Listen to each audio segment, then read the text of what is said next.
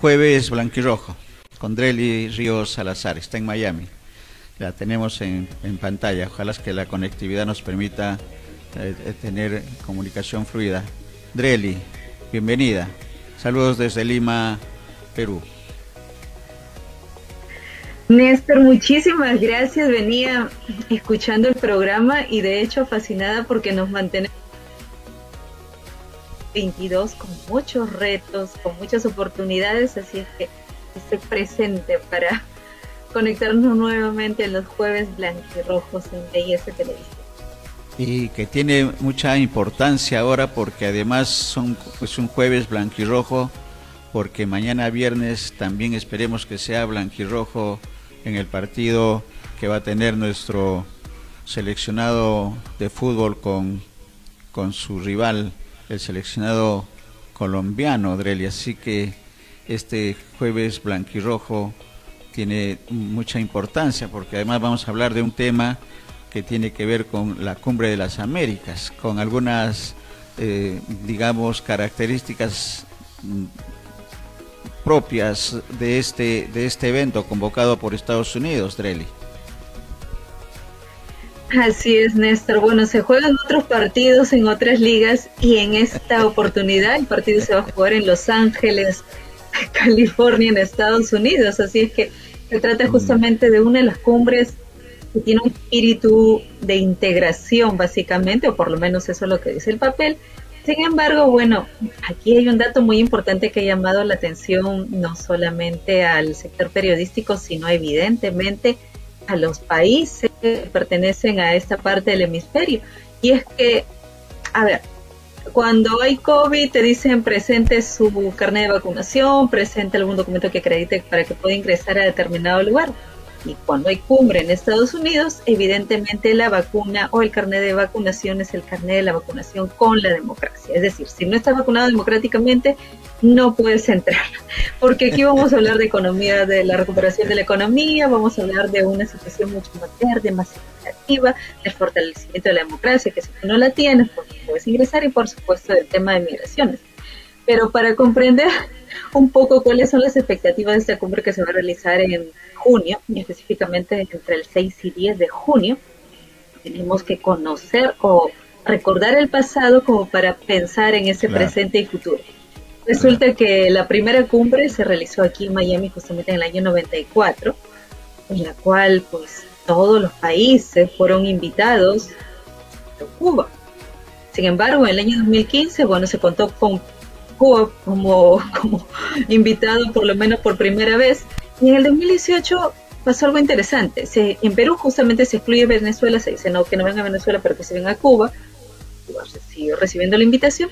Sin embargo, en ese entonces, cuando se dijo Venezuela específicamente, se referían a Nicolás Maduro porque se invitó a dirigentes venezolanos opositores al régimen. Y esta no fue solamente iniciativa de Perú, sino también fue una iniciativa respaldada por los 12 países del Grupo de Lima, Estados Unidos y el secretario de la OEA en ese entonces, Luis Almagro. Aunque en ese entonces fue Ecuador quien dijo que por qué no viene Venezuela, porque si estamos hablando de una cumbre para escuchar las distintas posturas y sobre todo recomendaciones y sugerencias debería estar aquí. Ahora yo no sé si está dispuesta o estaba dispuesta a escuchar recomendaciones, sugerencias en una cumbre de las Américas.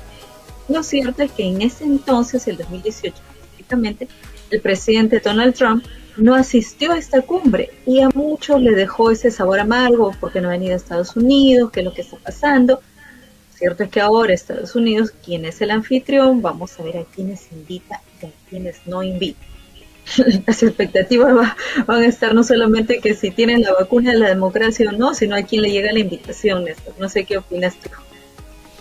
Sí, es un, es un tema bastante delicado, ¿no? Eh, considerando que la vacuna debería ser para todos, pero ah, se está haciendo una figura eh, interesante eh, porque realmente quien está preocupado no, no, no, por la pandemia, sino por la situación económica producto de la pandemia sanitaria Dreli es Estados Unidos por el tema de la migración.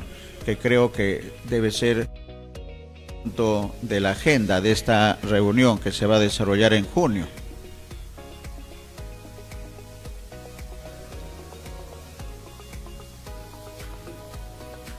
Ángeles están congregados un buen número de hispanos, entonces una característica fundamental que lo vienen anunciando incluso en, la Casa Blanca y también en la página oficial de la Cumbre de las Américas es que se va a integrar a todo tipo de poblaciones que no aparecían anteriormente. Estamos hablando de los hispanos, de los negros, de las personas que tienen cierto tipo de discriminación, ya sea por raza, por credo, por orientación sexual, etcétera, etcétera. Así es que vamos a ir a un Estado totalmente demócrata para hablar de democracia coincidimos en el hecho de que el tema latente es el de salud.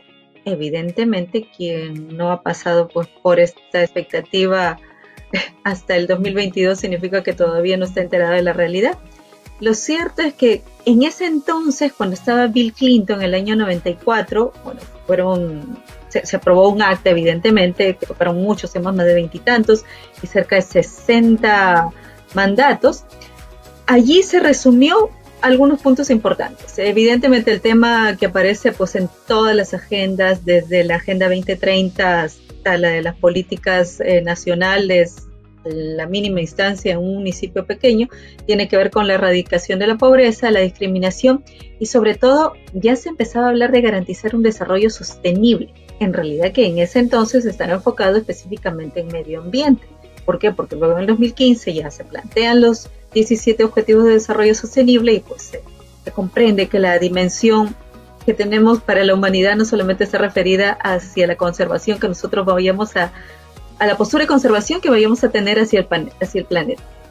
Entonces, en la declaración, los gobernantes, a mí me gustó leer esto, esta declaración porque mientras más la leía yo no sabía si estaba, estaba hablando de romanticismo chespiriano porque decían vamos a reflexionar sobre la democracia.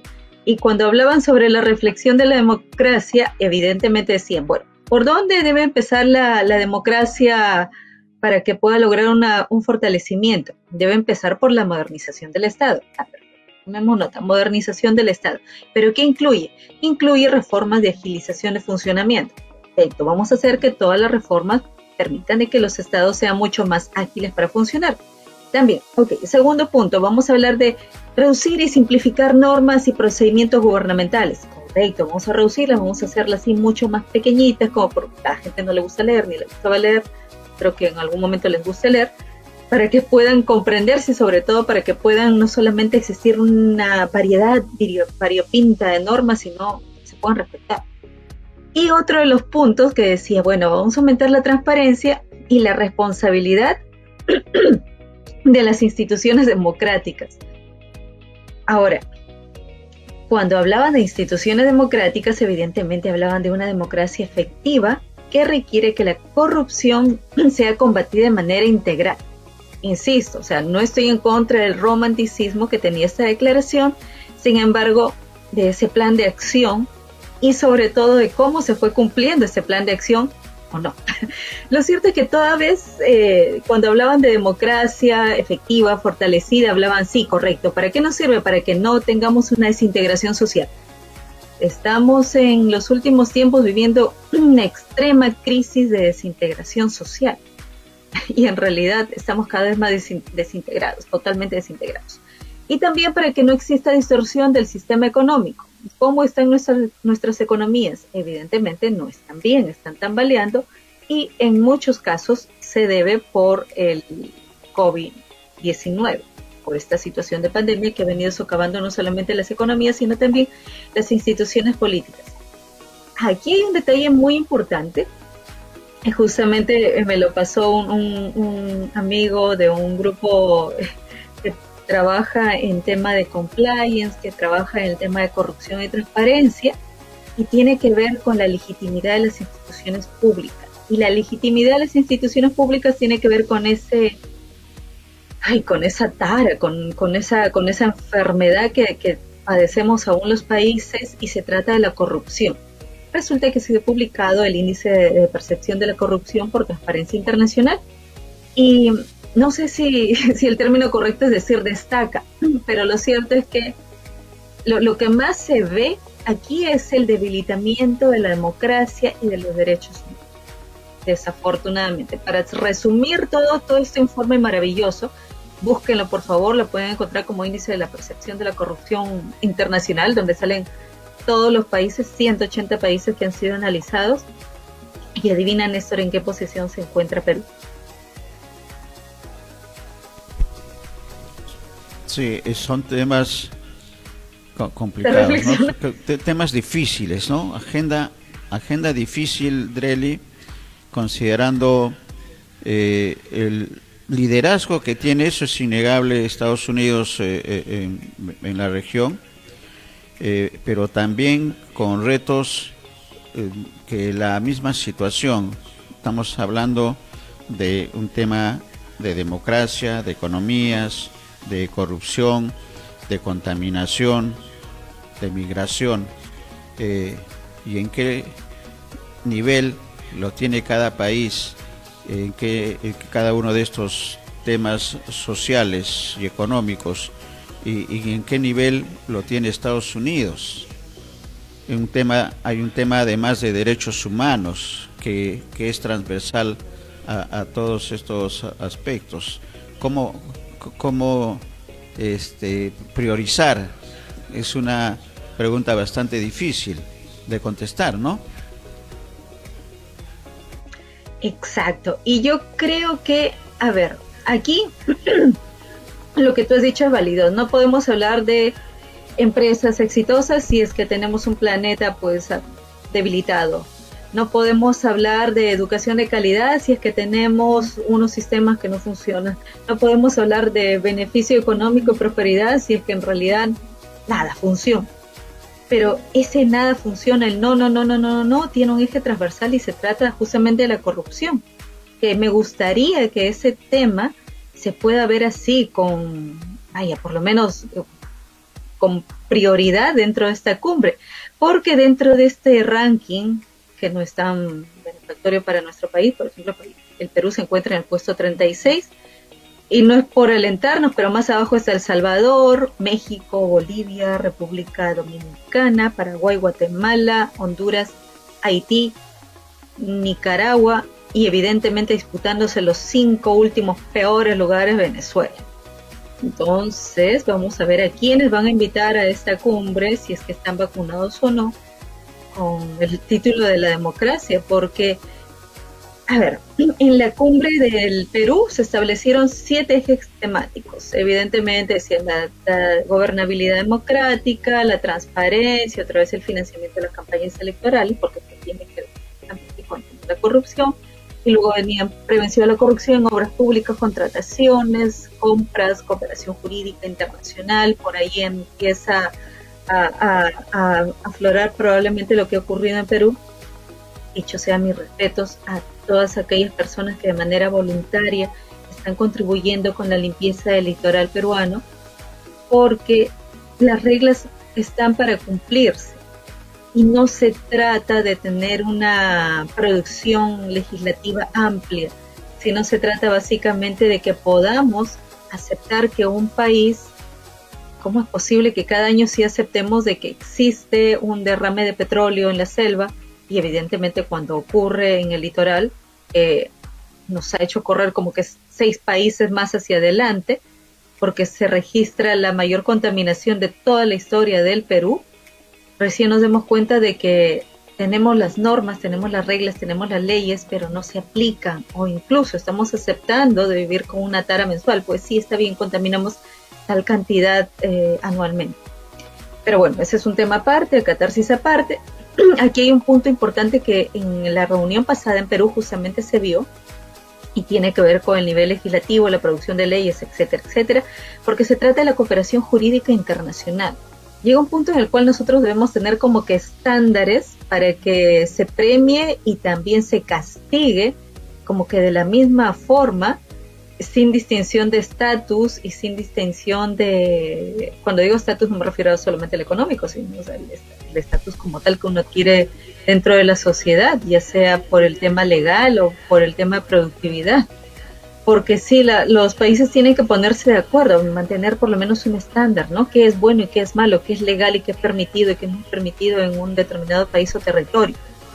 Y evidentemente uno de los puntos que le pusieron, pues yo no sé si fue de cola o no, pero para mí es uno de los más importantes, es básicamente el seguimiento a los acuerdos y los informes, que no sean expresados solamente en términos retóricos o románticos como lo vimos inicialmente, sino que vayamos a los hechos. Pero bueno, yendo a los hechos, no me quiero distraer este, hablando de lo que se espera y de lo que hubo. Vamos a preguntarnos en esta vacuna democrática, ¿quiénes se van a quedar fuera? ¿Se quedará fuera Venezuela? ¿Se quedará fuera Cuba? ¿Nicaragua? Estamos hablando del baile de los que sobran, de los que no están vacunados con este espíritu democrático y ojo, de los que fueron o no fueron invitados en diciembre. ¿Te acuerdas que en diciembre hubo la cumbre virtual de demócratas que lo organizó justamente el presidente Biden? La que evidentemente en ese entonces, pues, estamos hablando a nivel mundial, no estaba invitado China, pero tampoco fueron invitados otros presidentes de otros países, y me refiero a Honduras, a Guatemala, El Salvador. A mí me gustaría ver particularmente El Salvador en la cumbre de las Américas, porque Nayib Bukele con su revolucionario blockchain, específicamente Bitcoin, que va a minar el volcán, qué novedades nos tiene, no sé, yo a mí me encantaría estar allí, así que probablemente voy a estar sacando mi pasaje para estar en Los Ángeles en junio y tener una visión amplia de todo este ramillete de oportunidades que nos deberían ofrecer los mandatarios y sobre todo los acuerdos a los cuales se va porque hay algo que lo menciona la Casa Blanca como anfitrión en este año de la cumbre, es que debemos tener un enfoque constructivo para un futuro sostenible, resiliente y equitativo. Sostenible, resiliente y equitativo. Mantiene la línea y eso me parece sumamente importante, porque evidentemente no solamente se trata de vaya abordar los desafíos, cuáles son las oportunidades compartidas de la región y todo el mundo decir oportunidades compartidas encontramos en Estados Unidos y por eso que nosotros estamos en este país de paso o estamos en este país para quedarnos hasta cuando me aprueben el asilo o ver la oportunidad en la cual un guardia se descuide y yo puedo cruzar la frontera. No, oportunidades compartidas, como que ya hemos venido hablando anteriormente. Y sobre todo, cuando digo oportunidades compartidas, pues evidentemente hay que compartir también las responsabilidades, no sé si llamarle la de pata, para que después no digan, mejor no, no vengas, no vengas cuando me dijiste antes que debía venir. Entonces, yo creo que el, compromiso aquí con la diversidad, con la inclusión que se está subrayando, van a ayudar a respaldar mucho los esfuerzos, como lo dije inicialmente, porque estamos hablando no solamente de responsabilidad del gobierno, sino que también se está pensando en incorporar a los organismos no gubernamentales, a la sociedad civil como tal y como lo dice misma página web, todas las partes interesadas en los diferentes ámbitos de la vida. Así es que vamos a tener novedades, como digo, evidentemente el tema de la pandemia se mantiene latente, parece que, lo mejor dicho, más que parece, espero que ya se llegue a un punto de relax en el que podamos decir ya no estamos en pandemia, estamos en endemia, la pandemia que se mantiene, pues evidentemente va a ser la obesidad, o sea que tenemos que trabajar en paralelo si que no queremos llenarnos de pandemias y pandemias. Correcto. Y yo creo que esta cumbre de las Américas, Trelli, con un presidente, digamos, más flexible, me refiero al presidente Biden, más flexible que su antecesor, eh, va a marcar un punto de quiebre, un punto de quiebre porque creo que el compromiso que asumió, y lo comentamos en algún momento eh, en una participación tuya en, un jueves blanquirrojo, era de la apertura que estaba dando Estados Unidos al tema de la migración, pero para atacar el tema de la migración desde el origen de los países. Y eso lo estamos comprobando en, el último año de, gestión del, presidente y sus representantes más importantes de dar apoyo económico a los países para generar condiciones de trabajo. Una de las razones de la migración es la falta de oportunidades en los países, eh, que, mm, reitero, va a ser un punto de quiebre esta cumbre de las Américas teniendo en cuenta esta nueva visión en la que además el presidente Biden ha comprometido eh, no solamente la acción del Estado, sino también de las, eh, la, otra parte, las otras patas, si hablamos de una mesa del desarrollo de Estado, la inversión privada, la participación de los, de los profesionales y de las instituciones, no solamente públicas, sino también privadas, que tienen que participar de manera conjunta en la solución del problema del país, pero también en la solución del problema latinoamericano. Si consideramos a Estados Unidos como, como uno, un hermano mayor en una familia, creo que por ahí vienen las, las responsabilidades. Eh, de manera que junio mm, consideramos que puede ser el punto de quiebre de una nueva visión de Estados Unidos con respecto a los países de, las Américas. Néstor, y sobre todo porque localmente en Los Ángeles se congregan, como digo, muchas comunidades hispanas. Por cierto, fueron las que reclamaron al presidente Biden el compromiso con los hispanos, ese famoso 59% del voto latino que obtuvo y por cierto, ya vienen las elecciones, así es que no creo que sea casualidad, como digo, en, políticas y que se haya elegido justamente un espacio así para realizar una cumbre de tal envergadura. Así es que pienso que esta es una gran oportunidad para que el hermano mayor pues trate de, enmendar esas rencillas con las comunidades latinas, ya que vamos a tener a mandatarios de diferentes países, a los expertos internacionales quienes nos deberían orientar no solamente, insisto, en esta retórica, ¿no? Yo, yo creo que el romanticismo pues, funciona, pero políticamente debemos ser muy estrategas para poder obtener mejores resultados.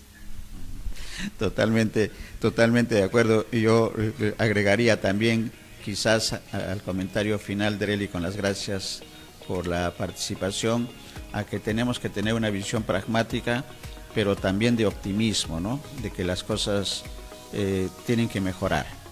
Y esa tendencia la estamos viendo en varios países, el Perú incluido en ellos, de la necesidad de cambios, mirando ya en cada país hacia la estructura social, cómo se ha desarrollado, las oportunidades si se han dado de igual manera y qué, es el, qué, está provocando ese desequilibrio económico y social en las, en las sociedades eh, latinoamericanas.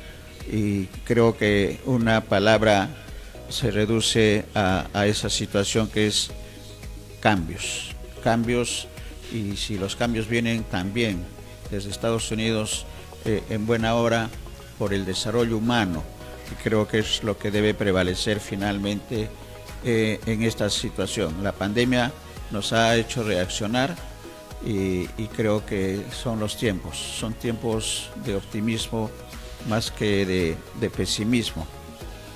Eh, y, esa, y eso vamos a verlo en junio con respecto a, esta cumbre que convoca Estados Unidos con Biden, presidente Biden a la, a la cabeza. Así es, Néstor. Bueno, vamos a estar a la expectativa de las novedades y vamos a ver quiénes son los que empiezan a confirmar o por lo menos quiénes son los que dicen ya recibí mi carta de invitación para estar en la cumbre. Sí, pues vamos a esperar. Y será motivo de otro comentario antes de, antes de junio, de todas maneras. Gracias, Trelli. Gracias. ¿Te animas a dar un resultado del partido de mañana, Perú y Colombia? Sabemos que tu corazón está dividido en, esa, eh, eh, en ese escenario deportivo, Drelli? Totalmente dividido en las dos partes hacia Perú, evidentemente, por favor. La mitad para Perú, la otra mitad para Perú. No sé cuánto gana Perú, pero Perú gana. Tiene que ganar. Claro. Tenemos que ganar. Vamos a ver. Lo comentamos. Gracias, Drelli. Un abrazo hasta Miami.